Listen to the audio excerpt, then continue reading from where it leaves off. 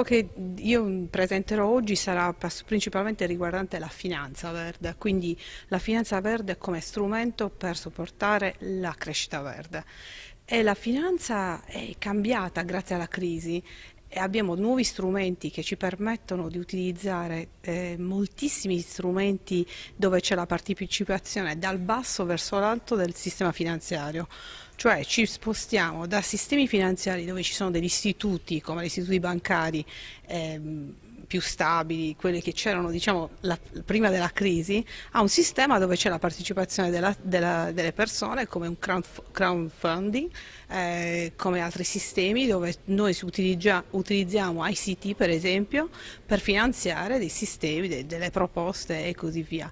Questo è molto importante perché soprattutto nelle innovazioni e nella crescita aperta queste fanno il grande, molte volte non si trova nel mercato gli investitori ma gli investitori si trovano nel, in, una, in un mercato più ampio tra tante persone che vogliono supportare delle idee nuove, delle innovazioni nuove. Ecco quindi il, il, diciamo, il cambio che c'è stato, un grande cambio anche dovuto alla crisi economica. Sì.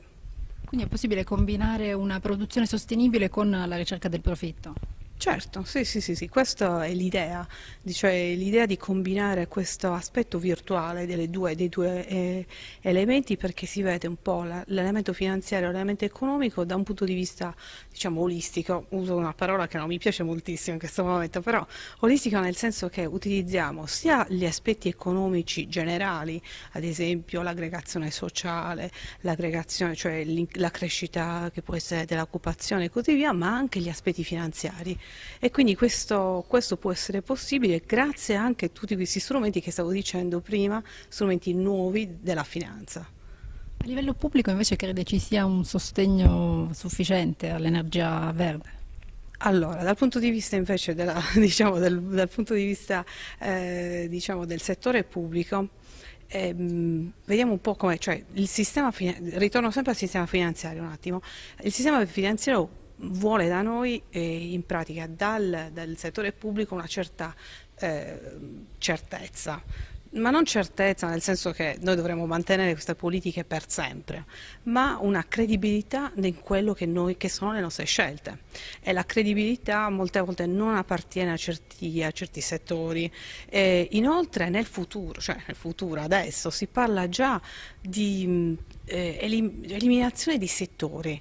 Cioè dobbiamo già pensare agli investimenti dal punto di vista intersettoriale e quindi non abbiamo più settori tipo trasporto, educazione, ma dobbiamo lavorare in maniera orizzontale su vari settori.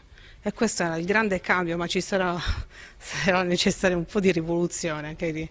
Però il bello di questo è che c'è una sfida di fronte a noi, possiamo, possiamo veramente cambiare moltissimo, possiamo avanzare la crescita, veramente la crescita di una green economy e quindi va bene, siamo pronti e non possiamo altro che iniziare più presto.